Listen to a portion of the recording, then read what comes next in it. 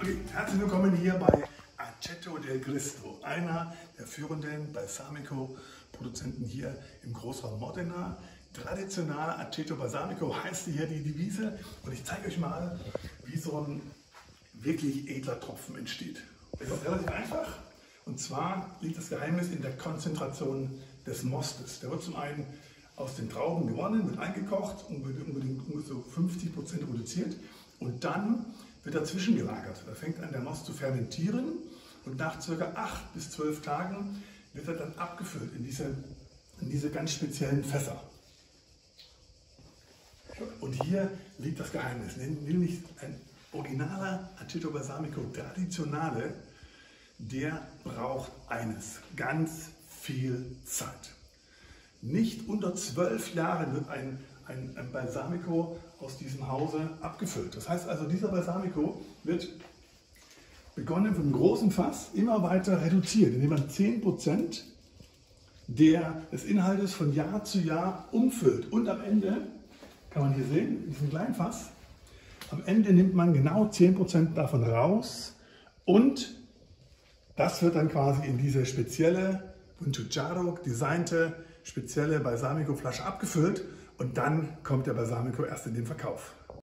Also, ja, also das Geheimnis liegt wirklich daran, man braucht viel Zeit, man braucht viel Geduld und man braucht auch wirklich qualitativ hochwertige Holzfässer aus verschiedenen Holzsorten, zum einen Eiche, Kirsche, Maulbeere und so weiter und so fort. Und darin wird dieser Balsamico dann quasi gereift und letztendlich auch ab zwölf Jahren abgefüllt. Und den ältesten, den Sie hier haben, der ist über 150 Jahre alt. Also etwas ganz, ganz Besonderes. Und ich sage euch was, bei uns im Job findet ihr auch einen von diesen ganz tollen Balsamicos.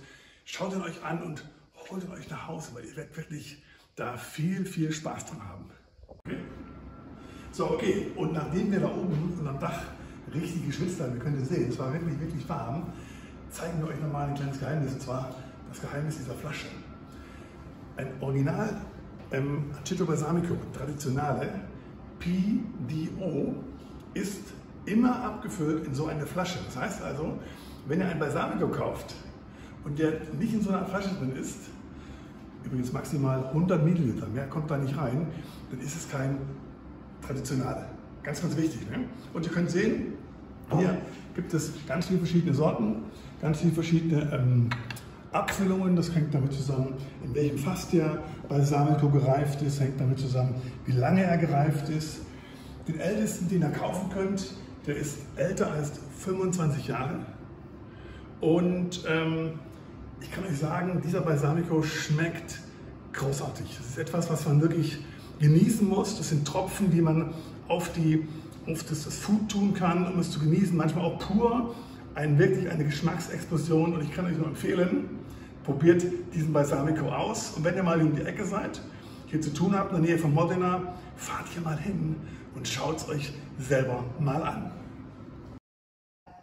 Das ist ja hier fantastisch.